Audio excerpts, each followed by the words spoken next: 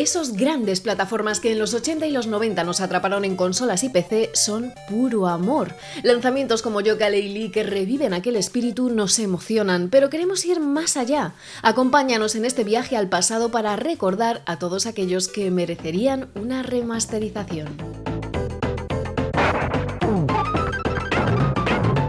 Vamos a empezar con algo fuerte, Donkey Kong Country. El lanzamiento de Donkey Kong Country Returns en Wii ha conseguido paliarnos su ausencia, pero seguimos añorando sus tres primeras entregas lanzadas en Super Nintendo. Queremos que la saga siga los pasos de Crash Bandicoot y remasterice este trío de juegos en Nintendo Switch.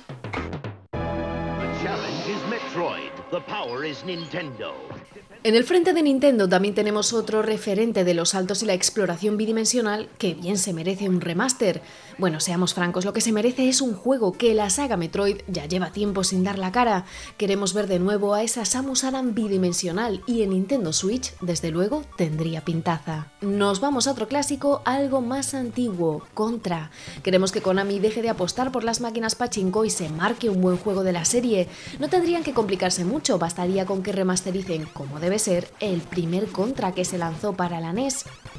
También de Konami viene la saga Castlevania, que dejó atrás sus dos dimensiones para apostar por las 3D. Mala noticia para quienes añoran ese clásico. Es otra licencia que ha quedado relegada a las máquinas pachinko y que tiene contenidos suficientes para atraparnos con una remasterización.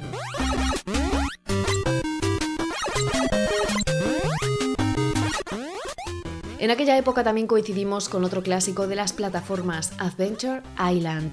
Fue en 1886 cuando este título desembarcó en NES y SMX, dejándonos con la boca abierta por el mundo que ofrecía.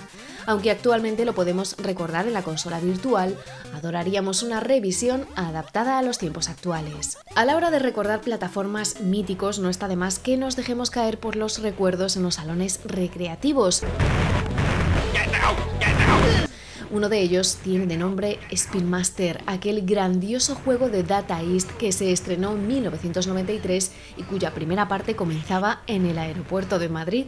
Y para los seguidores y seguidoras de la dificultad extrema, la saga Ninja Gaiden siempre ha sido un gran exponente. Su segunda parte, bautizada como The Dark Sword, fue sencillamente perfecta.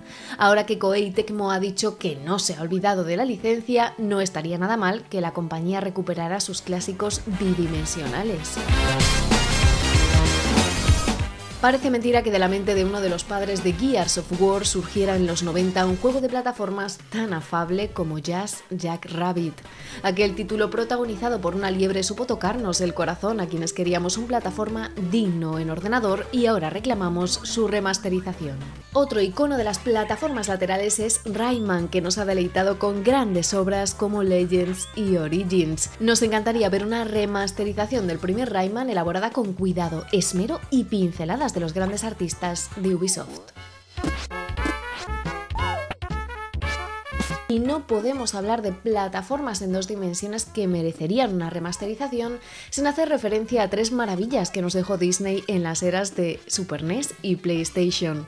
Hablamos de Aladdin, El Rey León y Hércules, tres juegazos de los 90 que tendrían que estar en las colecciones de todos los fans del género. Y hasta aquí nuestra apuesta por las dos dimensiones en plataformas que nunca deberían ser olvidados. ¿Cuáles son tus peticiones? Cuéntanoslo en los comentarios.